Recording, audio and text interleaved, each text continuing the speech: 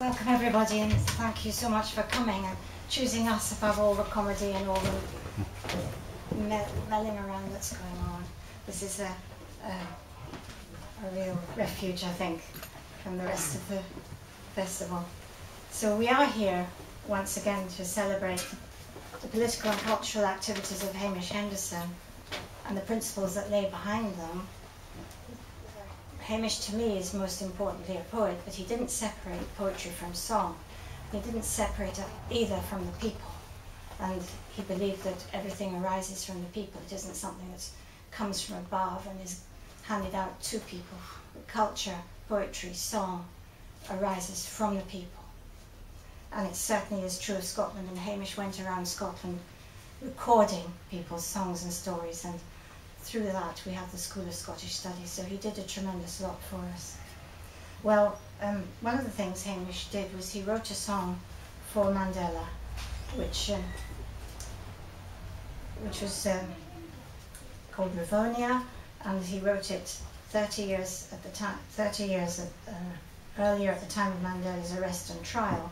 It was adapted from a Spanish Civil War ballad, and the, the song spread throughout the world, and even the fishermen off Robben Island were singing it. Well, we're very lucky tonight to have Stuart McHardy, who's going to start us off with singing Rivonia to us, which is a good way to start.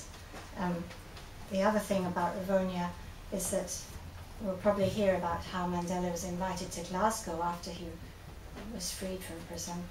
And um, he wanted to meet Hamish Henderson when he came to Glasgow and together they sang Rivonia and they danced on the balcony of the City Chambers in Glasgow in 1993 on the 9th of October. So what an amazing picture that sums up in our minds. So Stuart McHardy, well I've recently learned from my grandchildren that weird is a complimentary adjective nowadays. so I'm going to say that Stuart McHardy is weird. In fact all our speakers tonight are totally weird.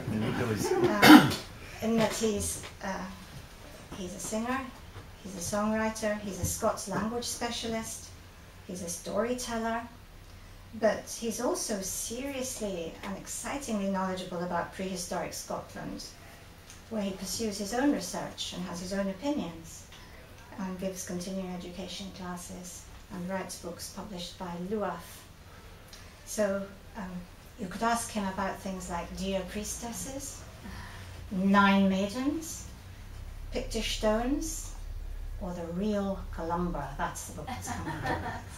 so, Stuart, would you come and sing us?